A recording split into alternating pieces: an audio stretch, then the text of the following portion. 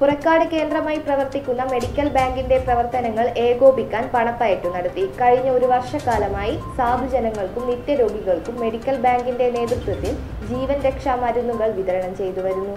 പുറക്കാട് കേന്ദ്രമായി പ്രവർത്തിക്കുന്ന medical lab മുപ്പത്തിനാല് പേർക്ക് മരുന്ന് വിതരണം ചെയ്യുന്നു. യുവാക്കളും വയോധികരും ഉൾപ്പെടെ ഇനിയും നിരവധി പേർക്ക് മരുന്ന് നൽകാനായുണ്ട്. ഓരോ മാസവും പുറക്കാട്ടെ സുമനസുകൾ സഹായിക്കുന്ന സാമ്പത്തികമാണ് ഇതിനായി ഉപയോഗിക്കുന്നത്.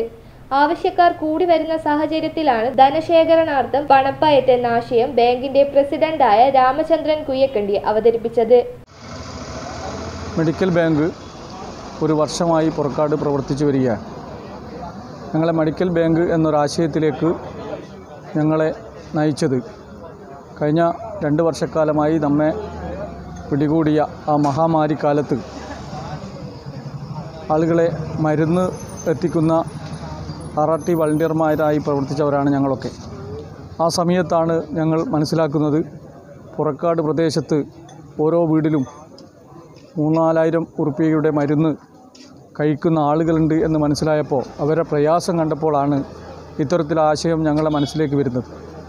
അതിന്റെ ഭാഗമായി ഞങ്ങൾ ഒരു മെഡിക്കൽ ബാങ്ക് പത്തൊമ്പത് അംഗ ഭരണസമിതിയോടുകൂടി രൂപീകരിക്കുകയും എന്റെ മുപ്പത്തിനാലോളം രോഗികൾക്ക് ഈ ഒരു വർഷക്കാലം ഏകദേശം നാൽപ്പത്തയ്യായിരം ഉറുപ്പിയോളം ചെലവ് വരുന്ന രൂപത്തിൽ ഞങ്ങൾ മാസാന്തം മരുന്ന് എത്തിച്ചു വരികയാണ് നിത്യരോഗികളായ ആളുകൾക്ക്. ആ സമയത്ത് ഞങ്ങളുടെ മനസ്സിൽ തോന്നിയ ഒരു ആശയമാണ് പുറക്കാട് ഗ്രാമത്തെ മൊത്തം ഇതിന്റെ ഭാഗമാക്കണമെന്നും ഇതിന്റെ ഭാഗമായി ഒരു പണം പയറ്റ് എന്നുള്ള രൂപത്തിൽ സഹായ പയറ്റ് എന്നുള്ള രൂപത്തിൽ ആലോചന വരികയും ആ- രൂപത്തിൽ പരിപാടി സംഘടിപ്പിച്ച് വലിയ ജനപങ്കാളിത്തം ഈ സ്നേഹപ്പയറ്റിന് ഉണ്ടായിട്ടുണ്ട്. പുറക്കാട്ടെ ജനങ്ങൾ ഒന്നാകമാനം ഈ പയറ്റിനോട് സഹകരിച്ചിട്ടുണ്ട്. നല്ല രൂപത്തിലുള്ള പ്രതികരണമാണ് ഉണ്ടായിട്ടുള്ളത്.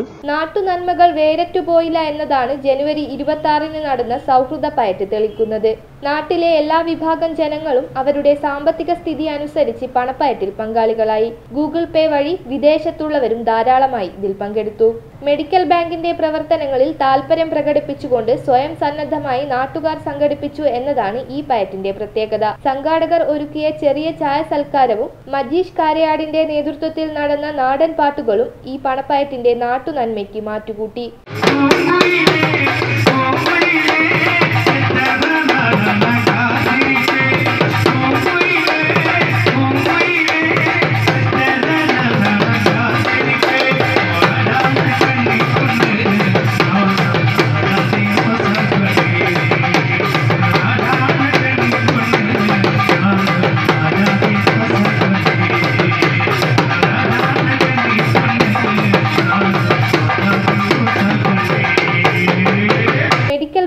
കൂടുതൽ ജനകീയമാക്കാനും അതിന്റെ സുതാര്യമായ പ്രവർത്തനം നാട്ടുകാർ ആത്മാർത്ഥമായി ഏറ്റെടുക്കാനും ഈ സൗഹൃദ പയറ്റിന് കഴിഞ്ഞു.